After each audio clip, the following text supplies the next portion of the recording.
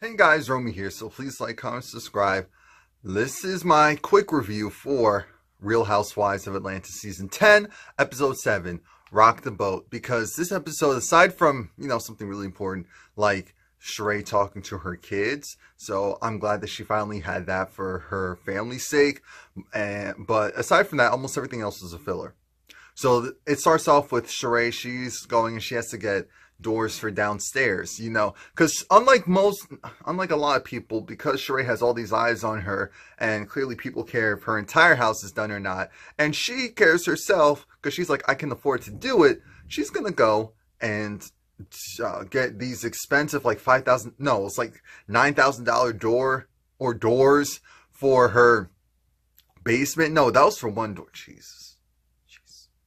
So Porsha goes and meets up with her and they're going in door shopping. That was actually two minutes of them door shopping. I said, wait, what? Next, we had Kandi. She went and she met up with Cynthia, and uh, Kandi finally got to see Lake Bailey, you know, Cynthia's house. She's like, this place is beautiful. And you could tell it's a very open, just light um, type of house. And so it's really nice. Cynthia has a prayer wall, or I should say she has a cross wall, because she's like, look, the more the merrier. Kenya comes over, and the conversation starts off essentially with Kenya talking about, you know, her home going for her grandmother. So it was beautiful. That was great. Now we get to the main crux. The main crux is Kenya. Well, there was a, a two-pronged thing. It was like, Cynthia let Kenya know things things in regards to you took a, a left once you left and it happened because you know it had to do with the fact that Cynthia hasn't met your husband. Cynthia was like, look, she loves Kenya, they're close friends, and she thought it was a little weird that she wasn't, you know, invited. Or, or okay, you, you were invited to the wedding, fine, but what about at least just me and the guy. Cynthia in the confessional was like, well, I was in New York. If he's in New York, I was there. I mean, you can fly. Like, what was going on? Can you just, she brushed it off like, look, do you already know I was just trying to keep things on low for the for a while, and you know he doesn't really put himself out there like that. But yes, you are my friend, so you will meet him, you know, eventually. Let's just say eventually. We won't even say soon. Let's just say eventually. And so you know that's all Cynthia needs. It's like, all right, you know, I'm not gonna bug. I'm not gonna bug. This isn't a big enough deal to go and bug out. But uh, Sheree and Portia, they talk about, you know, also the fact that Cynthia was a little upset about one, the ladies talk about Kenya, but two, why they were talking in the first place because Ken, no one's met her husband. And again, they, uh, I'm glad that I'm actually really glad that Kenya didn't go and overreact. She was just like, you know what? I don't have time for this. I'm actually happy. Um, and, you know, Cynthia, she's not coming from malicious place. She's not asking for too much. So, look, I'll let it rock. But apparently Kenya's been so out of the loop that she hasn't been a part of the mess. And I said, what? what? Yeah, she didn't know that there were pictures of Sheree's prison bay. So Cynthia and Katie were like, well, if you didn't see them, and they were nice. I remember, I thought, I was like, this can't be real. I said, yep, this is just so out of pocket for this to be real. When I initially saw the pictures myself over the summer of Sheree having the wifey shirt on, and she was clearly in jail, I said, Sheree, you try to mess with us. Anyway, we see again to Porsha trying to, no, I, I won't say trying, she's still doing the vegan um, thing for now. I love how I said the vegan thing. The life, the food lifestyle choice. Um, but she has these matchmakers come and she wants to find a man. She's like, everyone, Cynthia's dated. Um, Kenya's married to a real man.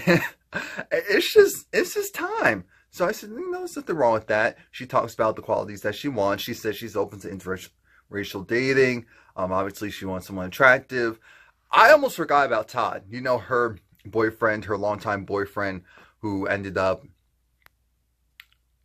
um, who she ended up, I guess things were moving fast and he wanted things that she didn't want or, but, you know, we just kind of see through Porsha's, her dating life on the show. And I, uh, and this is went from someone who didn't even want to go to a strip club or be associated with anything like that because she was afraid of what her husband would thought to do all the stuff she did on the show. It's like, look at that growth. Look at that grown woman growth. But the lady said, the matchmaker said they need to see her house to see what type of person she really is. And so apparently Porsha has and I forgot about this. We already knew, but Porsha has a room that's like a little boy's room, a little girl's room because of the wallpaper and all of that and setup, including a whole playhouse jungle gym in the backyard. And the matchmakers had to let her know, yo, you're gonna scare off any man that comes in here. Like, what are you doing? What are you doing? Like, it's good because they'll know from jump what you really want, but this is a lot. This is a lot, Porsha. This is a lot. So now, oh, I hate when it does that weird lighting on my face. Anyway, Cynthia, she's apparently her and Peter, they still have that property in Georgia where Peter's going to do another bar one or sports one. And so he's there. Again, they're always doing their, it's light. The relationship's over. It's light flirting. Cynthia came dressed for, uh, I don't know. I'm looking at Cynthia like, wait, where are you going again? Because of course you look good. That's not the issue. I'm just trying to figure out where were you going? Because she has her heels on and all of that. She's there. She meets the staff and crew. And they're about to be ready to go. Mind you, um, it's just the whole thing of Pierre says, "Oh, well, I see Will. Yeah, you and Will. How's you and Will?" And she was like, "Uh, mm, well, we're what? Oh, is that a new Housewives franchise or was that Potomac? Because I just saw a commercial for something. Hold on, guys. who was that for? Oh, maybe it's them and they're just going somewhere. Yeah. Anyway, but yeah." Cynthia was like, oh, that's just something casual. And, But we know Peter's had his own thing, or, you know, supposedly uh, still has his own girlfriend somewhere else. I don't know if they're still together, but so he's fine. They're fine. Again, it's always that weird thing of apparently they talk a lot. I'm like, Cynthia and these, I want to stay in touch with these exes, but okay. Anyway, Sheree's house is a celebration because her youngest daughter is going away to an HBCU. So she's super proud and surprised because she was like, her daughter's been around white people for like the majority of her life for schooling. So she's surprised that she wants to go be around some black people. And they're like, what type of surprise is that? Like, I have to be honest. I probably would have tried to go to an HBCU if um, like with everything that's happened in the world, I probably would have done that versus the school I went to. I loved the school I went to, so it was no issue. But I definitely think I would have made more of an effort to try and make that situation work um, with an HBCU. But anyway, we get to um, Kandi. Kandi's concerned because Kandi, well, actually, they take the swimming coach. Um, so Todd's, you know, biological daughter is there to but they're taking little Ace swimming so that he can learn. And I said, good, teach them at that age. And I liked the fact that they like showed the entire process and I was like, cool, maybe this will get some other parents to feel comfortable with having their kids um well making sure that their kids learn how to swim because that's an important thing because I have to be honest I still don't know how to swim swim I can be in the water and stuff, but that's pretty much it. If I'm trying to swim away somewhere, it's pretty tragic, tragic, because I'm, uh, I'm a sinker. I'm, I, I'm built like a sinker. I'm skinny, but I'm a sinker. So that was always part of the issue. And so, but anyway, we get to the actual crux of this episode, which is Sheree. Now, this scene took obviously multiple minutes because it was like, what? Her kids weren't ready for this. You know, her daughter's friends, they went and left. Then the Sheree sits all her kids down, let them know, yeah, so I need to talk to you guys about something. And then she takes them through the whole thing of, yeah, so I'm sure you guys heard about the abuse stuff between my dad and I. And I kept this secret for all these years because essentially I was embarrassed. I was embarrassed and um, I didn't want to put that out there. I didn't want you guys to think anything different of him. And her youngest daughter said, her, um, her dad tried, Bob tried to talk to her about it after a soccer game, and she left because she was like, really, really trying to do this now? Um, her oldest daughter was just like, you know, heard about it. I was shocked because I just never, and it's just, it's just like, wow. Kairo was pretty quiet. He was also like, he was surprised.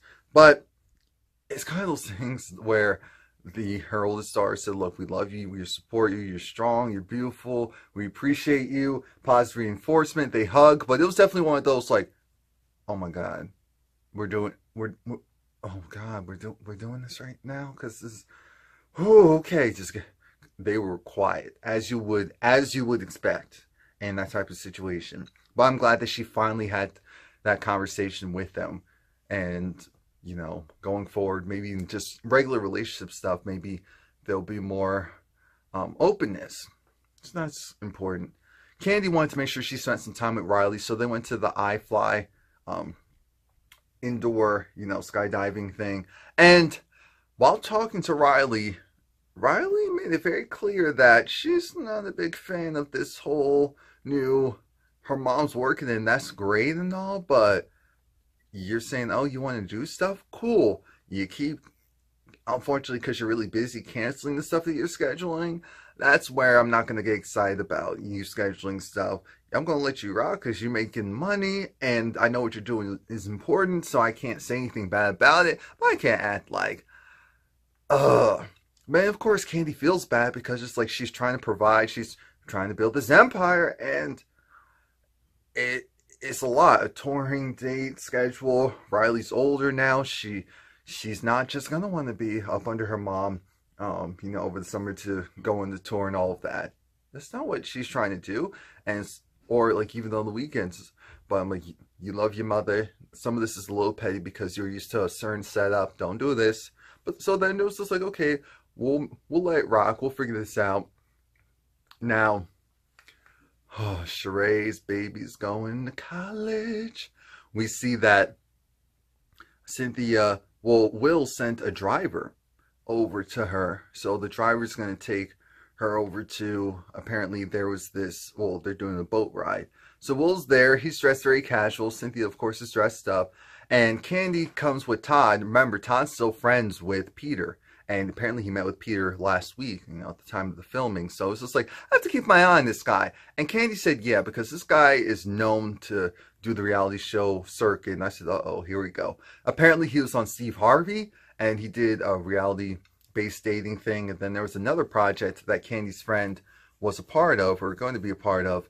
And so then, when this was brought up, he had that look of, wait, we're really doing this? We're really doing this? And then he said, you know what, yeah, yeah, that was true, but the other project, it didn't happen. I thought about it and then realized that wasn't a good move. I don't think it came to fruition anything anyway, so it wasn't like it was the biggest choice at one point. But Cynthia was just like, look, we casual, this is cool.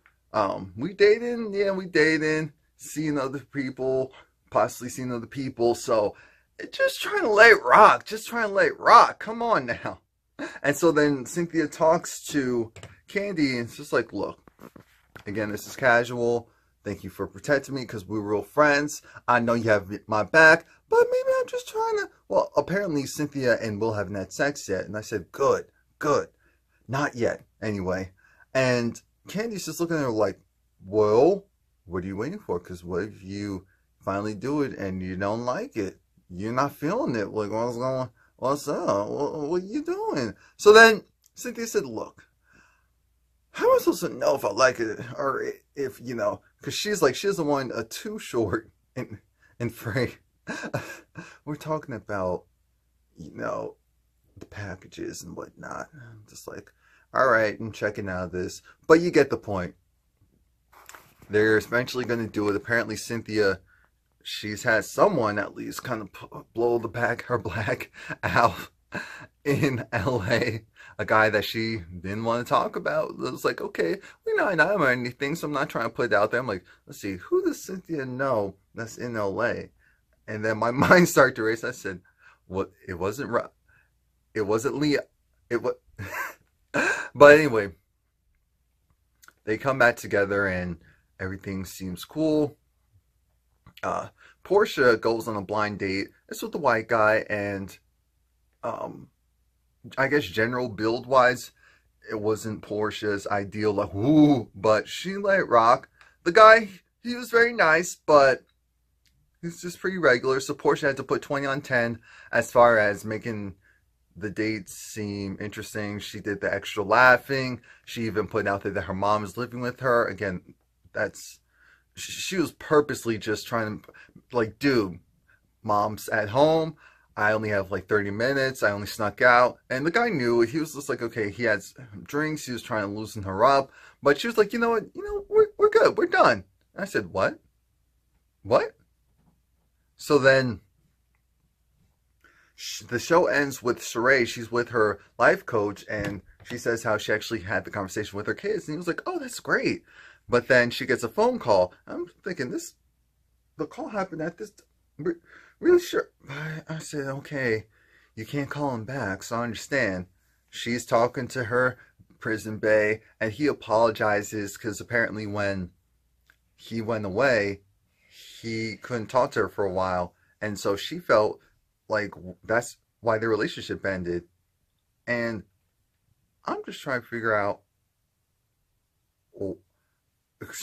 And she appreciated that he told her um, you know, that apology. She was like, that's pretty stand up. And, you know, he was trying to shoot his shot and everything. And that was great. But then when she talks to her therapist about it, and he was like, wait, you have a boyfriend? Wait, he's in jail? And she was like, she's really in love. She doesn't care what anyone says. And he said, okay, that's cool.